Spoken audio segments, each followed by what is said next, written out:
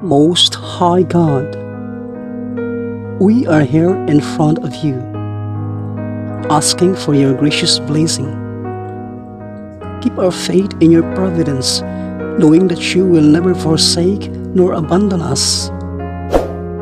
We are not asking for a luxurious life. Instead, we are just praying to have enough to live on in our everyday life.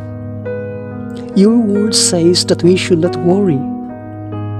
So we are holding onto our faith and to your promises that your abundance will be showered upon us all our life. You know what we need, and we trust that we will receive it.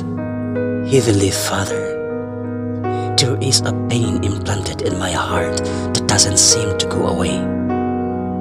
It has crushed me. It aches. I can no longer bear it. This pain of the past consumes my thoughts daily. It hurts so much, Father. These tears that fall long to see joy once again. Give me peace in my heart. Please, I'm crying out to you. Hear my prayer.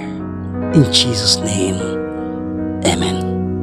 He showed no mercy on that nation which he doomed to destruction for its sins, nor on those 600,000 people on the march through the wilderness who gathered together in stubborn rebellion. Even if there had been only one stubborn person, it would have been a miracle if he had escaped punishment. The Lord is merciful, but he can also become angry. He can be overwhelming in his forgiveness or in his anger. His punishment is as severe as his mercy is great. He judges people by what they have done. No sinner can escape with what he has stolen.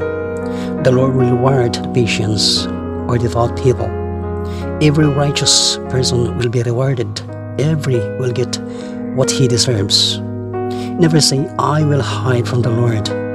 Nobody after is going to give me a thought. How can I be noticed among so many people?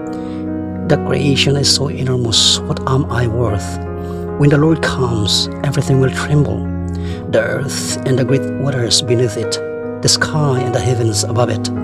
The mountains will shake, and the foundations of the earth will shudder.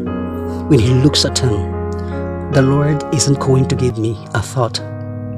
Nobody cares what I do. If I sin and I'm secretly disloyal, nobody will know it. If I do what is right, nobody will tell the Lord about it. Who wants to wait for him away anyway? He is too slowly in doing what he has said. He would. Only someone with very little sense and foolishly misguided would think things like that.